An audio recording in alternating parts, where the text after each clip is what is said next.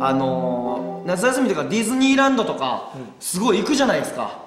であのーまあ、僕も結構同期とかと行ったりするんだけどそれでこの前聞いてうわもうこれ絶対やろうってあのー思った。えディズニーランドで？そうディズニーランドのおまた違った楽しみ方。何何これはいいよあのディズニーランドって、もうシーもランドもいっぱいキャラクターがいるわけやうんたくさんのキャラクター。え？行ったことないからな。おりそう。あそうそうおりそう、うん。いっぱいキャラクターいるんだよ、でそのキャラクターと直接やり取りしたいなって思う人もいると思うねファンの人ははいはいはいはい。ファン心理よ、んうんもう手紙渡してみたいなのができたらなみたいなのがあると思うんだけど、うんうん手紙を、うん。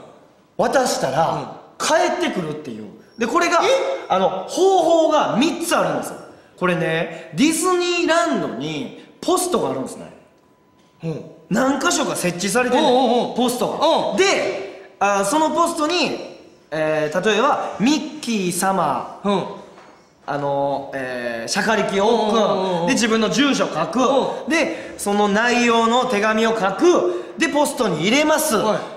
運よかったら帰ってくる運が良かったらいやまずこれねちょっと聞いて、で一つ目はいこれが方法。で二つ目が、えー、ちゃんとした宛先があるの。ようんうん。そのうディズニーランドのこここの宛先に送ったらキャラクターから帰ってきますっていう宛先があるだから家とかで書いても送っても届くのよ。可能性がある。可能性がある、うんうん。で3つ目は直接え？渡す、うん。っていうパターン。この3つやねん。やけど確実に帰ってくるわけではないのよ。でこれ返信の確率を上げる方法があるのよ、うん。でそれは、えー直筆。この打ち込んで書く文字じゃなく、直筆で書く。まずこれが一つ、ん。で二つ目が理由付け。この理由が、うん。あのどんだけ好きかっていう気持ちもそうやし、例えば私の息子がすごいミッキーが好きなんですとでサプライズで、うちの息子をその楽しませたいんです。はいはいはい。うちの息子の笑顔が見たいんです。どうかお願いしますっていうちょっと感動的な理由をつけて送るとそれがでも本当じゃないとダメよ。まあねそうよ。それ悪用はしないでくださいよ。嘘ついたらダメよ。嘘はついたらあかんけど、まあ、そういうのってあるやん。イベントごとでさ。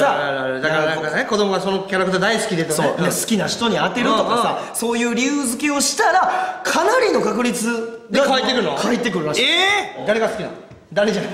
誰？どのキャラクターが好きなの？どのキャラクターが好きなの？あなたも誰ってど。のキャラクターが好きなの？まあプー。まあプープーさん。じゃあプーさんから帰ってくるまでちょっとい絶対吉野君が終わるまでに帰ってきてよ。